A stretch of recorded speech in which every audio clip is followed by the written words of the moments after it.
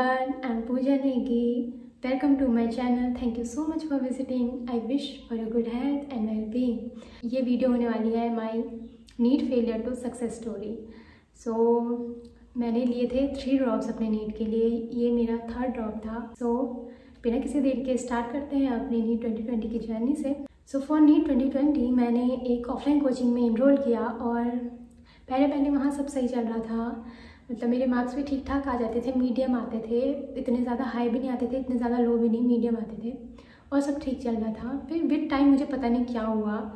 मेरे फिज़िक्स मुझे समझ आ रही थी बट क्या होता था, मुझसे क्वेश्चन ना बने। और जब यूनिट टेस्ट होना उसमें मुझसे क्वेश्चन अगर पढ़े हुए भी आ रहे थे ना प्रेशर में आके वो उनको भी रॉन्ग कराती थी। और बायोलॉजी मुझे, मैंने ली हुई थी मेडिकल स्ट्रीम बट बायोलॉजी मुझे पहले से ही ऐसा लगता था, रटने वाला सब्जेक्ट लगता था। क्योंकि मुझे लगता था कि बायोलॉजी तो सिर्फ़ रट के ही आ सकती है और बायोलॉजी सिर्फ़ रटने वाला सब्जेक्ट है और ज़्यादातर बच्चे यही सोचते हैं जो मेडिकल फ़ील्ड में नहीं होते हैं या जो मेडिकल फ़ील्ड में होते हैं, वो भी यही सोचते हैं। बहुत सारे बच्चे ऐसे ही सोचते हैं। तो मेरा भी मानना यही था कि बायोलॉजी एक रटने वाला सब्जेक्ट है। मे भी मुझे पहले से ही सही तरीके से गाइड नहीं किया गया कि बायोलॉजी कैसे पढ़नी चाहिए, या मेरा ही खुद का तरीका गलत था बायोलॉजी पढ़ने का, जो भी था, लेकिन मुझे बायोलॉजी बिल्कुल अच्छी नहीं लगती थी। और मैं, मुझे बनना डॉक्टर था और मुझे बायोलॉजी अच्छी नहीं लगती थी। ये बहुत ही ज़्यादा वियर्ड लगेगा आपको। आप बोलोगे, कैसी लड़की है? इसको डॉक्टर बनना था और इसे बायोलॉजी पसंद नहीं थी। और मुझे भी अभी वियर्ड लग रहा है। और बात करें केमिस्ट्री की तो केमिस्ट्री का ऐसा था कि सर ने पहले हमें मोल्स पढ़ाए थे और उसके बाद सर ने हमें पढ़ाया केमिकल इक्विलिब्रियम सो ये दोनों मुझे समझ में आए। उसके बाद ऐसा हुआ कि मुझे सर कुछ भी पढ़ाए ना, वो मेरे दिमाग में घुसे ही ना। मतलब मेरे बगल वाले को समझ में आ रहा है, जो मेरे बगल में बैठ रहा है, उसको समझ में आ रहा है और मुझे समझ में नहीं आ रहा। और ऐसा था कि मैं टीचर भी चेंज नहीं कर सकती हूँ और ऑनलाइन का उस टाइम पे दौर भी नहीं था कि इतना ज़्यादा ऑनलाइन ऐसा नहीं था ना कि ऑनलाइन कोचिंग ले लो। उस टाइम पे इतना ज़्यादा फ़ेमस नहीं था ऑनलाइन का ट्रेंड इतना नहीं था क्योंकि कोविड नहीं आया था तब तक। सो ऐसा हो गया था और मुझे समझ नहीं आया था मैं क्या करूँ। था क्योंकि बाकी लोगों को तो समझ आ रहा था ना, एक मुझे ही तो समझ नहीं आ रहा था। तो प्रॉब्लम मेरे अंदर होगी या सर का वो पढ़ाने का तरीका और वो समझ आ रहा था उनका तरीका मुझे समझ में नहीं आ रहा था। टीचर गलत नहीं थे बट मेरी समझने में थोड़ी प्रॉब्लम थी। फिर एक एक चीज़ ऐसी आई मेरे साथ कि क्या हुआ पेपर हुआ हमारा जितना सिलेबस हो गया था उसका एक बार एग्ज़ाम हुआ हमारा। सो so, उसमें बैच शफलिंग होने लगी और मुझे रख दिया सेकेंड बैच में।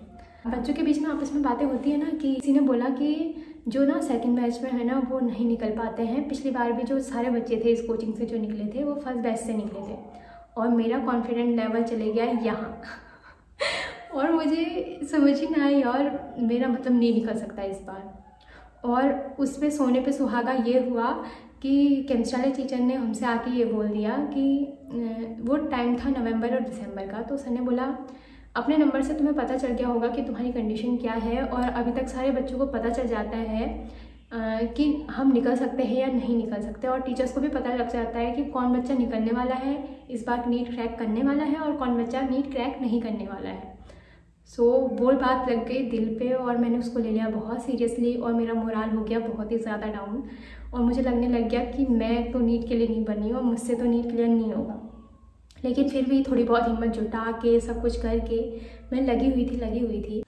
And for NEET twenty twenty सबसे बड़ी गलती मेरी ये थी कि मैंने अपनी एन को तो इम्पोर्टेंस दी ही नहीं। मतलब और सब्जेक्ट तो तुम छोड़ दो, मैं बायोलॉजी की एन भी ठीक से नहीं पढ़ती थी। मतलब एक से दो बारह पढ़ी होगा, पढ़ा होगा मैंने एक चैप्टर वो भी मैं ज़्यादा बता रही हूँ कि एक से दो बारह पढ़ा था। क्योंकि कोचिंग वाले भी ना ये नहीं बोलते थे कि तुम्हें एन पढ़नी चाहिए। वो बोलते थे मॉड्यूल से अगर हम उनसे पूछते थे ना कि आप मतलब टेस्ट में किस टाइप के क्वेश्चन आएँगे एन बेस्ड आएँगे या मॉड्यूल से आएँगे तो, तो सर बोलते थे कि नहीं हम मॉड्यूल से बेस्ड क्वेश्चन देंगे थोड़ा हाई लेवल रखेंगे। एन बेस्ड नहीं होगा क्वेश्चन पेपर तो हमें लगता था कि एन क्यों पढ़े ना फिर हम मॉड्यूल ही पढ़ते हैं। और मॉड्यूल इतने बड़े होते थे इतने मोटे मोटे होते थे उसमें इतना एक्स्ट्रा दिया होता था उसको दिमाग में रखना इज़ नॉट पॉसिबल क्योंकि इतने सारे चैप्टर्स हैं आप किस किस को आपने दिमाग में रखोगे ना? तो ऐसा हो गया था कि मैंने एन e को तो छोड़ ही दिया था और मैं मॉड्यूल भी पढ़ रही थी और ये मेरी सबसे बड़ी गलती थी। उस ईयर के ड्रॉप में मेरा ये लॉस था कि उस उस साल ना कोविड आ गया और इंडिया में कोविड के केसेस बढ़ने लग गए तो फुल लॉकडाउन लग गया। अब उसी टाइम पे, जिस टाइम पे लॉकडाउन लगा, हमारी कोचिंग ने उसी टाइम पे हमारे फुल सिलेबस टेस्ट शेड्यूल किए हुए थे।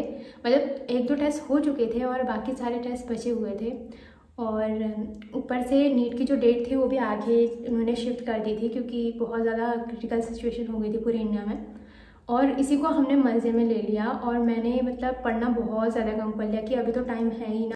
और फिर सितंबर में हमारा एग्ज़ाम हुआ, नीट 2020 का, और मेरा स्कोर बहुत लो था 366 और मैं खुद से बहुत ज़्यादा डिसपॉइंटेड थी कि ये मैंने क्या कर दिया। मैंने पूरा का पूरा साल अपना ख़राब कर दिया, ये वो, बहुत कुछ चला था दिमाग में, और मैं इतना रो इतना रो। मेरे घर वाले मुझे समझा रहे थे, कोई बात नहीं, कोई बात नहीं, लेकिन मैं खुद मान नहीं रही थी, यार, ये कैसे हो गया? ये मैंने क्या कर दिया? वगैरह वगैरह। उसके बाद मैंने सोचा कि बनना तो डॉक्टर ही है ना। और फिर मैंने नीट 2021 के लिए डिसाइड किया कि मैं सेल्फ स्टडी करूँगी और मैं कोचिंग ज्वाइन नहीं करूँगी कोई भी ऑफलाइन क्योंकि मुझे कोई पॉइंट नहीं लग रहा था उस कोचिंग में फिर से जाने का जाने का क्योंकि मैं फिर टीचर कोई चेंज कर नहीं सकती थी। अगर मुझे समझ नहीं भी आता फिर भी मुझे उसी टीचर से पढ़ना पड़ता। सो so, मैंने डिसाइड किया कि मैं खुद से सेल्फ स्टडी करूँगी खुद से देख लूँगी यूट्यूब पे या कुछ। और लकीली क्या हुआ पता है? मतलब आई थिंक वो मेरी लाइफ का सबसे बड़ा टर्निंग पॉइंट था कि मुझे एक्सीडेंटली एक सर की वीडियो दिखी और वो थे फिजिक्स वाला सर अलग सर सो so, उनकी एक वीडियो दिखी और स्टेज बात यह है कि मुझे फिजिक्स वाला सर की फिजिक्स वाली वीडियो ना दिख के केमिस्ट्री वाली वीडियो दिखी थी और वो थी आईयूपीएससी सो मुझे लगा कि ये सर तो बहुत सही तरीके से पढ़ा रहे हैं। सो क्यों ना इन्हीं से पढ़ा जाए और सेल्फ स्टडी की जाए। और जब मैंने उनका चैनल देखा तो मुझे पता चला सर फिजिक्स भी पढ़ाते हैं। तो मैंने सोचा इनसे ही फिजिक्स भी पढ़ लूँगी और इन्हीं से वो भी पढ़ लूँगी केमिस्ट्री भी पढ़ लूँगी। और ऐसे ही मैं केमिस्ट्री और फिजिक्स सर से पढ़ रही थी और बायोलॉजी मैंने खुद से ही पढ़ना स्टार्ट कर दिया था कि मैं खुद से बायोलॉजी करूँगी। मैंने ह्यूमन फिजियोलॉजी स्टार्ट कर दी थी। और लकीली ऐसे एक्सपेरिमेंट करते करते एक दिन मुझे रितु रत्तेवाल मैम की वो मॉर्फोलॉजी वाली चैप्टर का वो देख गई वीडियो दिख गई और मैंने उनसे पढ़ना स्टार्ट कर दिया। और उनसे पढ़ना स्टार्ट किया तो मुझे मतलब इतना सही लगा, मैंने उनसे ह्यूमन फिजियोलॉजी का डाइजेशन एब्जॉर्प्शन पढ़ा। तो मतलब मुझे ना बायोलॉजी को पूरा देखने का मेरा पूरा नज़रिया ही चेंज हो गया। मतलब मैं जो सोचती थी ना कि बायोलॉजी सिर्फ़ रटने वाला सब्जेक्ट है वो अब मैं कहती हूँ कि बायोलॉजी को तुम जितना समझ के पढ़ोगे, जितना समझ के पढ़ोगे और अगर तुम ऋतु रतवाल मैम से पढ़ोगे ना सच्ची बता रही अगर आपको बायोलॉजी अगर बुरी लगती है ना, सच में आपको अच्छी लगने लग जाएगी। फिर वो नॉन मेडिकल वाला बच्चा ही क्यों ना हो, वो भी अगर रतिवाल मैम से पढ़ेगा ना, सच में वो बायोलॉजी को मतलब पसंद करने लगेगा, वो सोचेगा कि मैंने बायोलॉजी क्यों नहीं ली। ऐसी मैं अपने तरफ़ से गारंटी दे रही हूँ आपको। आप पक्का ट्राई करना अगर आप, आपको अगर बायोलॉजी पसंद नहीं है या आपने जिन टीचर को आप फॉलो कर रहे हो, वैसे तो जिन टीचर को फॉलो कर रहे हो, उन्हीं को फॉलो करना, लेकिन अगर आपको उनसे समझ में नहीं आ रहा, किसी भी टॉपिक में कोई भी प्रॉब्लम हो रही तो तुम एक बार बस उस टॉपिक का नेम डाल के मैम का नाम डाल देना, और सेम फिजिक्स के लिए मैं ना अलग सर को रिकमेंड करूँगी। मतलब अगर आपको फिजिक्स बिल्कुल पसंद नहीं है ना, और फिजिक्स आपको समझ में नहीं आ रही, आपका बेस बिल्कुल ख़राब है, आपको मतलब फिजिक्स तो बिल्कुल अच्छी लगती नहीं है, आप एक बार अलग सर को ट्राई करके देखो। मतलब आपको सच में फिजिक्स अच्छी लगने लगेगी, और क्वेश्चन भी बनना स्टार्ट हो जाएँगे ट्रस्ट मी सच में और ये कोई भी प्रमोशन वीडियो नहीं है। सच में मैंने कोई प्रमोशन नहीं कर रही मैं पर्सनल एक्सपीरियंस से आपको बता रही हूँ। सो so, ऐसे ही मैंने अपनी नीट 2021 की प्रिपरेशन स्टार्ट कर दी। मतलब मैं पढ़ रही थी डेडिकेटेड होकर पढ़ रही थी। मतलब मुझे ये था कि मुझे इस बार तो नीट क्लियर करना ही है नीट क्रैक करना ही है। इस ईयर मेरे से सबसे बड़ी गलती मेरी क्या हुई कि मैंने प्रीवियस ईयर क्वेश्चन पे उतना ज़्यादा ध्यान नहीं दिया। मतलब मैं कर रही थी क्वेश्चंस कर रही थी, लेकिन मैं प्रीवियस ईयर क्वेश्चन को उतना इंपॉर्टेंस दे नहीं दी थी। मुझे ना टेस्ट से डर लग रहा था और ये सबसे बड़ी गलती थी कि मैं टेस्ट से डर रही थी और ये टेस्ट का डर मैं अपने अंदर से निकाल ही नहीं पा रही थी। और ज़्यादातर बच्चे ये गलती करते हैं कि वो मॉक टेस्ट नहीं देते हैं। ये सोच के कि यार मेरे नंबर कम आ जाएँगे तो क्या होगा, मैं क्या करूँगा? बगल वाला क्या कहेगा या मेरे पेरेंट्स क्या कहेंगे या मेरे टीचर क्या सोचेंगे? कोई तुम्हारे बारे में कोई कुछ नहीं सोचता। ये सब हमारे खुद के अंदर का वहम होता है कि आगे वाला क्या सोचेगा, पीछे वाला क्या सोचेगा टीचर्स क्या सोचेंगे। और मेरी सबसे बड़ी गलती ही यही थी कि मैं मॉक टेस्ट नहीं दे रही थी और ज़्यादातर बच्चे यही करते हैं कि मॉक टेस्ट नहीं देते हैं कि मतलब ये अभी तो हम घर में, मैं तो घर में पढ़ रही थी ना, मैं तो सेल्फ स्टडी कर रही थी। ये हो जाता है कि मैं खुद को क्या जवाब दूँगी अगर मैं कम मार्क्स आ जाएँगे? तो मेरे केस में ये था कि मैं खुद को क्या जवाब दूँगी? अगर मेरे मार्क्स कम आ गए कॉन्फिडेंस डाउन हो जा रहा है, अगर मेरे मार्क्स कम आ रहे हैं तो मैं देती नहीं हूँ एन टी अभ्यास से जो मैं टेस्ट दे भी रही थी ना तो मैं उनको देखती नहीं थी, जो मेरे क्वेश्चन गलत होते थे ना, उन्हें रीचेक नहीं करती थी कि ये गलत क्यों हुआ क्वेश्चन कोई टेस्ट होता था, उसका तो मैं कर लेती थी. और किसी टेस्ट का मैं देखती नहीं थी कि मैंने कहाँ पर गलती की, गलती क्यों हुई, ये मैं देखती नहीं थी. और फिर मेरे नीट 2021 का एग्ज़ाम पास आ गया और मैंने एग्ज़ाम दिया।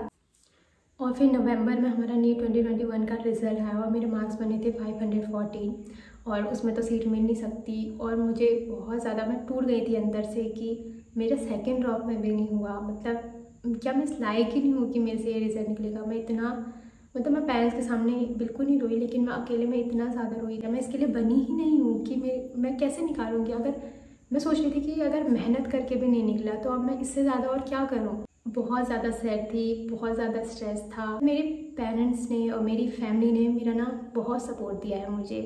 मुझे बहुत पुश किया है अपने ड्रीम की ओर। उन्होंने मुझे कभी प्रेशराइज़ नहीं किया कि तुझे डॉक्टर ही बनना चाहिए। डॉक्टर बनने का सपना है, मेरा ही था। और उन्हें कोई मेरे से प्रॉब्लम नहीं थी। अगर तेरा नहीं निकल रहा है तो भी ठीक है। अगर तेरा निकल रहा है तो भी ठीक है। वो हर कंडीशन में मेरे साथ थे। कभी मेरे को प्रेशर प्रेशराइज़ नहीं किया कि तेरा अगर, तेरा इस साल भी नहीं निकला। ऐसा उन्होंने कभी नहीं बोला। उन्होंने बोला कि, अरे, सभी का निकले थोड़ा जाता है। बच्चे इतने इतने साल देख भी नहीं निकाल पाते हैं। और तेरे तो इतने मार्क्स बने हैं। तुझे तो खुश होना चाहिए। नहीं निकला तो क्या हो गया? तुझे जो पसंद है तू वो कर। तू ज़्यादा स्ट्रेस मत ले। हमारे लिए तू ज़्यादा इंपॉर्टेंट है। ये एग्ज़ाम इंपॉर्टेंट नहीं है। तेरा ड्रीम है, तुझे बनना है, तू बन। अगर तेरी मेंटल स्टेट ठीक है, तू तब कर इसको, वरना मत कर। हमारे लिए तू ज़्यादा इंपॉर्टेंट है।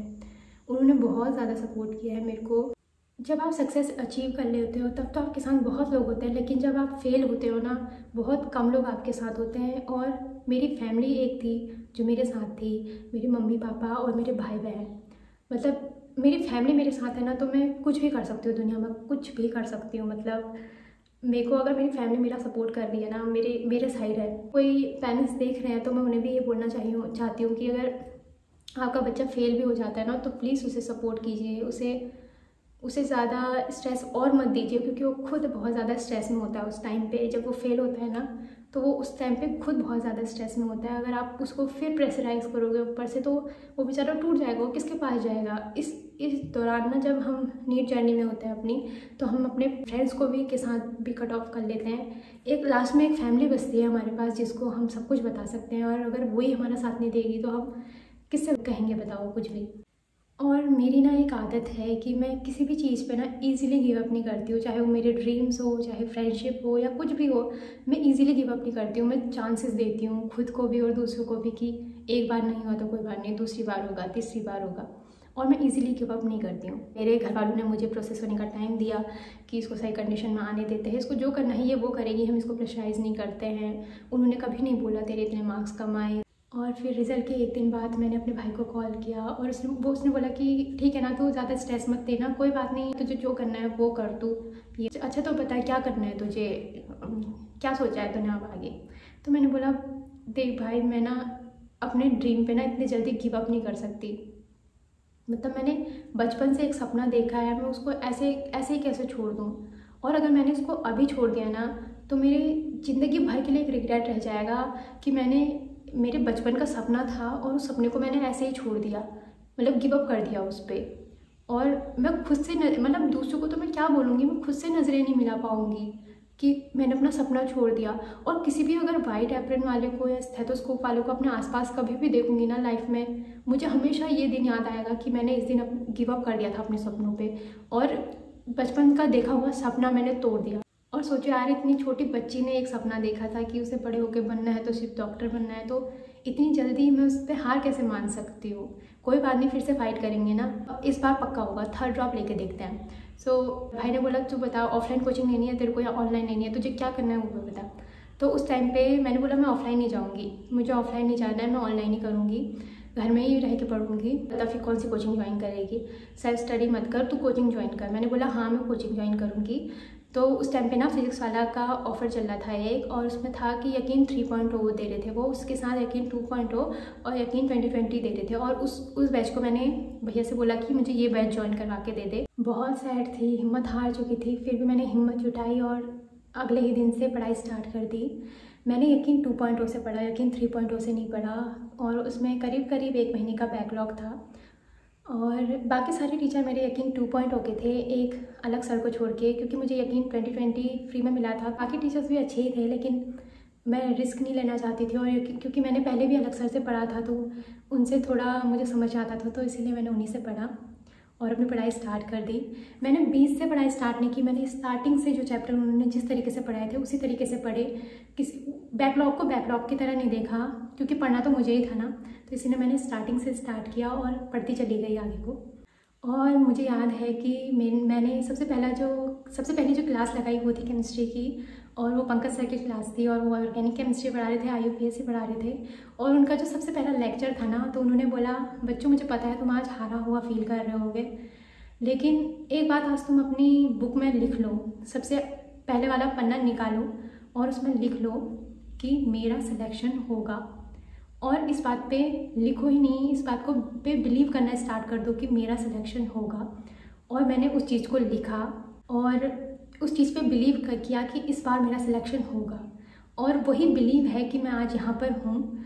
और जब भी मैं लो फील करती थी ना कि मुझसे नहीं होगा तो मैं उसी पेज को पलटा के देखती थी और उसको देखती थी कि मेरा सिलेक्शन होगा। और मुझे ना बूस्टअप करता था कि हाँ मेरा सिलेक्शन होगा। और फिर यकीन 2022 के लिए मैंने जो जो मेरे बैच में जो जो टीचर थे, उन्हें ही फॉलो किया। उन्होंने जैसा बताया मैंने वैसा पढ़ा और मैंने एन e ढंग से लगाई। एन e को इम्पोर्टेंस दी। प्रीवियस ईयर क्वेश्चन लगाए और डी वो जो देते थे उन्हें सॉल्व किया। वो जो मैंने गलतियाँ अपनी नी 2020 की प्रिपरेशन में और नी 2021 में की थी ना, वो मैंने नोट की और उन्हें दोहर, नहीं दोहराने का वादा किया खुद से कि मैं इन गलतियों को फिर से नहीं दोहराऊँगी इस साल। जो जो मैंने गलतियाँ की थी, मैंने उन्हें सुधारा।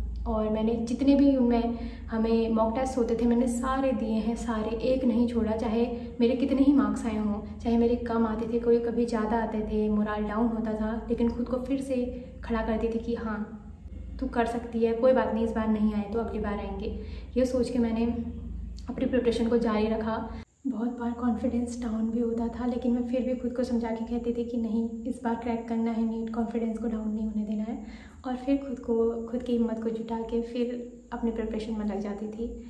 बहुत सारे लोगों ने बहुत कुछ कहा भी इस प्रिपरेशन के दौरान। किसी ने कहा कि तूने कितने साल बर्बाद कर दिए। और कभी पार्टीज़ वगैरह में नहीं जाती थी तो लोग बोलते थे, किसी का प्रोग्राम होता था या कुछ होता था घर में, अपने रिलेटिव्स में किसी का कुछ होता था तो मैं वहाँ भी नहीं जाती थी फ़ंक्शन को अटेंड करने नहीं जाती थी। तो वो बोलते थे, क्या कर रही है घर में? ऐसी भी कैसी पढ़ाई कर रही है? सो so, बहुत कुछ सुना भी इसके दौरान और किसी ने बोला तुम्हारे जैसे लोग निकालते हैं क्या नीट? ये भी बोला गया है उनको। लेकिन उनकी बातों को मैंने इफ़ेक्ट नहीं होने दिया खुद के ऊपर। बुरी लगती थी हाँ सबको लगती है लेकिन मैंने ज़्यादा गौर नहीं किया उनकी बातों पे और लगी रही। और फिर जुलाई में नीट ट्वेंटी ट्वेंटी टू का एग्ज़ाम हुआ और मैंने एग्ज़ाम दिया। और नीट का जब मेरा रिज़ल्ट आया तो मेरे मार्क्स बने थे सिक्स हंड्रेड एटीन और मेरी फैमिली वाले बहुत खुश थे और मैं भी बहुत खुश थी। द एंड मेरा जो हार्ड वर्क था वो पेड ऑफ़ हो गया। जो जो मैंने स्ट्रगल्स देखी, वो सब, अब सोचती हूँ कि वो स्ट्रगल्स थी ही नहीं। वो वो जर्नी थी और वो जर्नी मैंने जी, और जर्नी का अपना एक मज़ा होता है। So yes I am grateful मैं बहुत ज़्यादा शुक्रगुजार हूँ उस पूजा की जिसने उस टाइम पे गिव अप नहीं किया।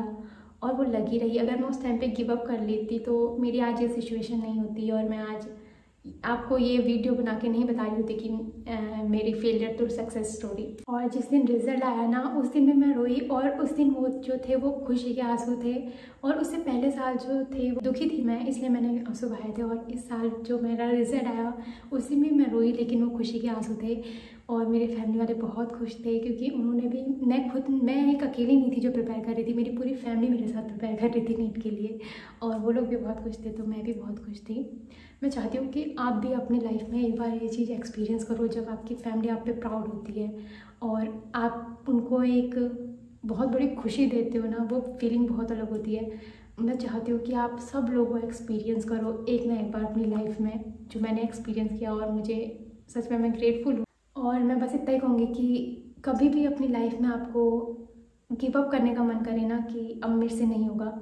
बस खुद को एक चांस दे के देखना और खुद पे एक बार बिलीव करके देखना कि हाँ मैं ये कर सकता हूँ। और देखना आप अपने गोल के कितने पास पहुँच जाओगे। और आई होप आप सभी को ये दिन देखने को मिले। और उन सभी को जिनका इस बार नीट क्लियर नहीं हो पाया किसी भी रीज़न से। मैं उनको इतना ही बोलूँगी कि अपने आप को कभी भी फेलियर की तरह मत देखना। अपने आप को एक वॉरियर की तरह देखना कि मैंने जंग लड़ी एक और नहीं हुआ इस बार तो कोई बात नहीं, अगली बार मिलेगा। खुद को एक चांस दे के देखना और देखना, नहीं ट्वेंटी ट्वेंटी थ्री आपका होगा और आई होप वो आपका हो। बस इतना ही बोलूँगी यार, मेहनत करते रहो। अपनी की हुई मेहनत ना कभी खाली नहीं जाती। कभी ना कभी ज़िंदगी में आपको उसका फल ज़रूर मिलता है। चाहे वो अभी ना मिले, कुछ टाइम बाद मिले, लेकिन मिलता ज़रूर है। और मुझे हमेशा एक बात याद आती है, मेरे जो ऑफलाइन कोचिंग के फिज़िक्स वाले सर थे, उन्होंने मुझे एक बार एक बात कही थी कि, देखो पूजा, कुछ लोग ना अपनी किस्मत का खाते हैं और कुछ लोग अपनी मेहनत का खाते हैं। और जो लोग अपनी मेहनत का खाते हैं ना, वो ज़िंदगी में ज़रूर कुछ ना कुछ बड़ा अचीव करते हैं और तुम उनमें से एक हो। सो so, ये बात मुझे हमेशा याद रहेगी जो उन्होंने कही थी और मैं आपको आज बता रही हूँ। तो इस बात को हमेशा याद रखना। बस एंड में इतना ही बोलूँगी कि कभी गिव अप मत करना। आपको पता नहीं है कि कितनी बड़ी सक्सेस आपका वेट कर रही है। और इसी के साथ मैं अपनी वीडियो को यहीं पर एंड करती हूँ। Thank you so much for watching अगर आपको अच्छी लगी हो वीडियो तो प्लीज़ लाइक शेयर एंड कोई भी अगर आपका ऐसा कोई क्लोज फ्रेंड है या कोई फैमिली में है जो अभी नीट के लिए प्रिपेयर कर रहा है और जो गिव अप कर चुका है, उसको एक बार ये वीडियो ज़रूर दिखाना और आई होप उसे इसको देख के थोड़ी हिम्मत मिले और वो एक बार खुद को चांस एक चांस दे के देखे। So thank you so much for watching तो जल्दी मिलते हैं एक नए वीडियो के साथ। Till then bye